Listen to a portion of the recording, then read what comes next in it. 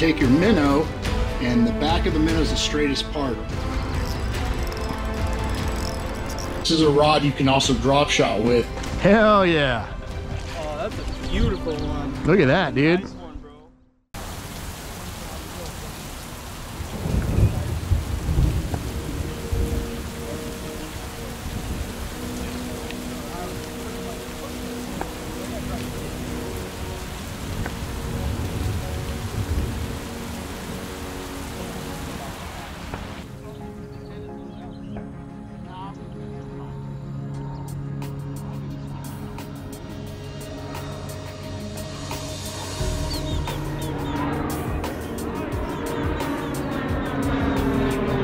grab it.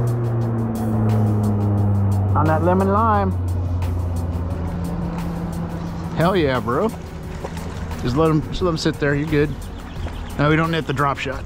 Oh, no. No. Whoa, it's slippery. I'm gonna get real wet. That's okay. Don't have to force him.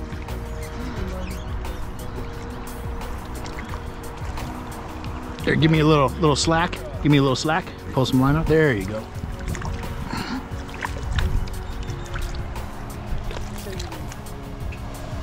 Hell yeah, bro. Yeah, and that lemon lime. Almost, almost 10. Yep. 935. That was a very mild hookup, huh? Told you. It's like yeah. barely there. See? Chunky bro.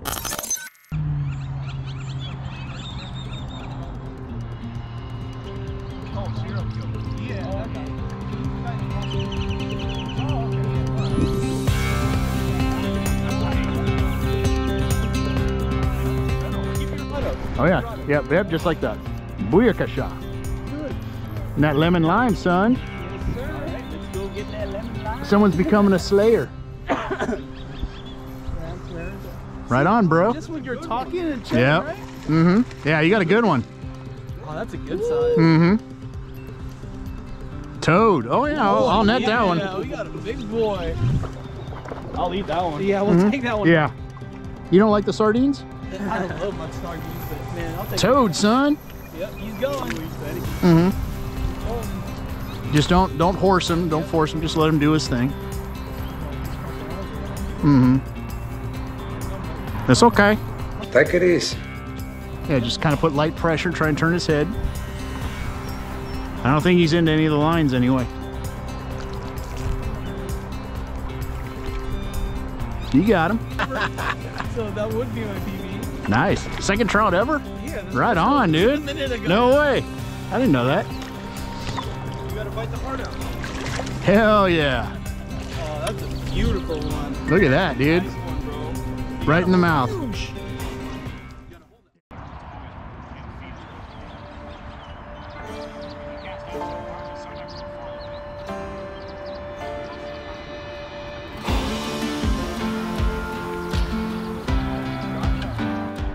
Yeah, that one's on, uh, what's it called? Big stick. Hmm? Oh no, I got it for you, bro. It's full service.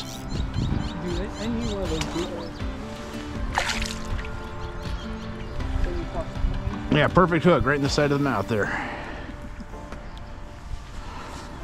Holy red herring. All right, ladies and gents, going to take a quick break from the video to show you what's going on out there and what we're using. I'll start with the rods. First one I'm going to start with is uh, my trusty Katana K5. This is the rod I use for uh, drop shot and uh, usually throwing spoons or any uh, uh, hard baits. Uh, it's a 7 foot 6 rod, it's ultralight. It's got a stiff backbone but a very soft tip, so I call it kind of a medium fast action. I have it paired with a, uh Daiwa Presso 1000 spinning reel. I have it spooled with uh, four pound Sinister Premium Fiber braid. Uh, this braid is uh, black in color, comes in uh, a variety of colors. And then I run that up to a uh, fluorocarbon leader. It's a five pound Runkle Power Fluoro. And I usually run a leader length of about five to six feet. And I attach it with a double uni knot. I have my standard bait and weight set up here. This is a Daiwa Spinmatic 8 foot spinning rod. It's an ultralight. Um, it's it's more of a moderate action rod. It's it's uh, got a very soft tip to it. Uh, but uh, this is a rod you can also drop shot with, and it's uh, very inexpensive compared to the Katana. The reel I have paired with it is a, a Daiwa Legalis 1000, and I have spooled on here uh, five pound Bronco Power Fluoro just straight. There's no braid on this. I don't fish braid uh, typically with uh, bait and weight applications. I just use the uh, the fluorocarbon or the mono. Like uh, years ago, I used to use a four pound uh, P line monofilament, and that works just great as well. All right, now let's go to the bench and I'll show you the baits that are working and the rigs and how I set them up. All right, guys, now we're going to take a look at the rigs we're using out there and the baits that are that are actually working. Uh, we'll start off with the drop shot rig. Um, this is a single drop shot, and I tied this up with uh, today with uh, green braid instead of uh, the usual uh, five pound Runkle uh, power fluoro I use, just because it's a little bit more visible on on camera. I do not use braid on my drop shot rigs or my bait and weight rigs. I use the the fluorocarbon, but just so it's it's a little bit easier to see. Today, what's a little bit different is we're using just a single drop shot rig. So I just got one number eight mosquito hook tied about six to eight inches above my weight. And another thing that's different from what I usually do is I'm using a 1 8 ounce drop shot weight instead of a 16th or a 32nd. Um, and the reason is, is because it's rainy and windy uh, and I want to get uh, more accurate casts with the lighter drop shot weights. Um, there's a lot more uh, deflection with the wind, as you guys know. It's a little bit harder to cast accurately or get it out far enough. Um, so we went with the heavier weight. And there's not a lot of snags in, in Prado, so uh, you can get away with this. Um, and like I said earlier, this is the, uh, the number 10, or I'm sorry, number 8 mosquito hook. And that's typically what I use. You can also use a size smaller, which is the 10, and a lot of guys like the 10. I just use the 8 uh, out of personal preference. It's, it's just, I feel I get a lot better hookups with it. When I'm using real, real tiny baits, sometimes I'll go down to a 10, but usually the 8 can even handle the smaller baits. The baits that are working the best up there on the drop shot, as uh, you, you were hearing, is uh, this lemon lime uh, Spartan minnow. Uh, Mike's cleaning house with this thing. Uh, they really like the bright colors there in that murky water. Um, and this one, uh, uh, they really, really got a got a knack for it. He, he was getting hit a lot and just missing hookups because he's he's new to drop shotting, but uh, uh they were all over this bait. And uh, the other one I was catching on was this uh, mini Spartan minnow, big stick, and that one usually works good at Prado. I, I knew that in advance. a lot of bright colors. Usually, this one, Colombian Bam Bam, which is bright white or uh, pinks. They usually seem to like a lot of pinks. Uh, work really, really well there. Now I'll show you how you hook these on to the uh, uh, drop shot. So you take your hook and you take your minnow and the back of the minnow is the straightest part or on these Spartan minnows they have these little bumps or I like to call them scoots and you can see the bottom part of the minnow's got kind of a rounded part that I, I consider the belly. So what I would like to do is put it through the, the, the nose of the fish and have the hook come out the spine. So we start right here at the upper part of the nose and start pushing the hook in. And I work it till it's starting to go around the corner of the hook right there. And then I carefully, trying to keep it as straight as possible, push the point of that hook through the minnow's back and then slide the minnow all the way up to the eye of the hook. So it ends up looking like, like that. So it's very, very straight and it's right up against the eye. And, and uh, one of the main reasons I put it right up against the eye of the hook is because one, I feel it swims straighter, and two, if I feel anything and I get my uh, my bait back looking like that, more than likely that was that was a fish biting. As long as there's no weeds or debris on there, uh, pretty sure whatever I felt was a fish bite. So that's going to tell me how they're biting uh, and, and, how it's going to feel on that day because each day it seems the trout bite a little bit differently. Sometimes they just hammer it, sometimes they just nibble at it. So it's it's really good to know, especially on the drop shot, because with this heavy weight, you're going to be feeling everything on the bottom, all the little uh, uh, changes in the mud or the sand that's down there. And sometimes that can feel like a light bite from a fish. So it's really good to do that. So if you if you get your bait in, it looks like this you know, hey, I think I'm getting bit. Now I know when to uh, start doing uh, some some uh, free hook sets, as you will, and uh, see if you can hook up. And to hook up the the Spartans, the mini Spartans, it's the same procedure just on a smaller scale. And we're gonna even gonna use the same size hook. Uh, like I didn't uh, scale down my hooks to, on, on this day. Sometimes I do, I'll go to a 10, but you can see the, the mini Spartan is just like the big Spartan, it's just smaller. So you got the back back here with the bumps on it, belly up front. So we start at the same part of the nose. Work it till it's just going around the bend and then push it through the back carefully and slide it up to the eye. And there you have it, just like that. All right, now we'll move on to the bait and weight. And uh, you'll see this in a minute, but this is your basic Carolina rig. So I got a quarter ounce egg sinker, Carolina keeper. Uh, but today, normally I go with a, a 10 to 14 inch leader. Today I'm going with about a six inch leader because the water's especially murky, it's raining. So I'm figuring the fish are gonna be right on the bottom that are willing to eat. So I went with a very, very short leader. And then down to a number 10 uh, mosquito hook. And uh, what I'm using is working the best is good old corn yellow power bait. Uh, just take a little ball of it and just enough to cover the tip of the hook basically. So none of the, none of the hook is showing. So I'll show you right here. Just want a little bit. So I make a little ball. I push the hook in the center I just kind of squeeze. You got to kind of squeeze all the air out of the bait. So it's on there tight. But obviously be careful not to stick yourself with the hooks. You don't want to push too hard. But I just form it into kind of a cylinder or a dumbbell looking thing, almost like a buoy or a teardrop until it's covering just enough of the hook where you can't see the hook anymore. And that's it. And the biggest key when doing this is to test it in the water before you cast it. Just go over there and lay it in the water and make sure this is floating because sometimes you can cover your hook with power bait, but the hook is too heavy and this thing's going to go right to the bottom. So always, always, always make sure your bait is floating before you cast out. And the other thing that was working out there were spoons, particularly RHA spoons.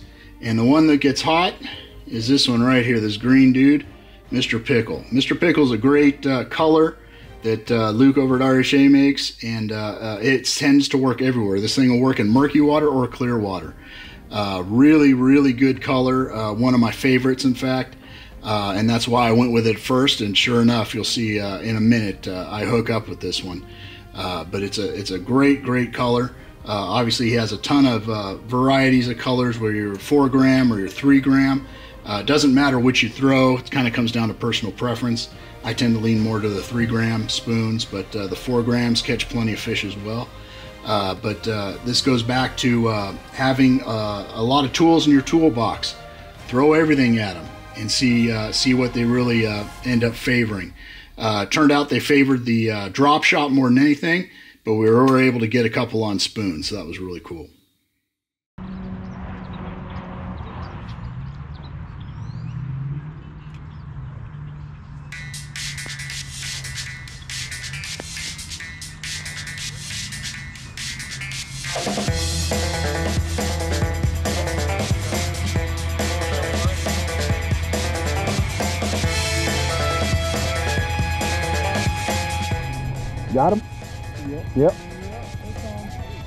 How long did that take?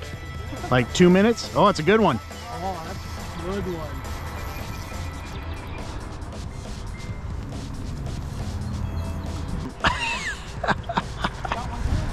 oh, yeah? Oh, nice. All right. Nice. Doubles. Oh, it's getting in that other rod. Oh, you got him over here? All right, cool.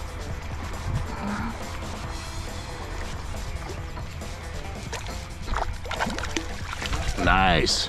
Money. That's a good one. There's my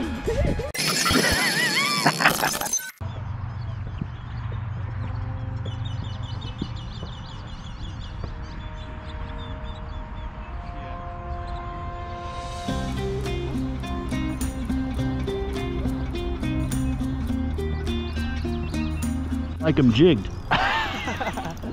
That's on a spoon, so. Oh, oh, that's spoon. Yeah, pretty pretty uh, decent fish. Nice. Whoop, whoop, watch your line. There you go, perfect.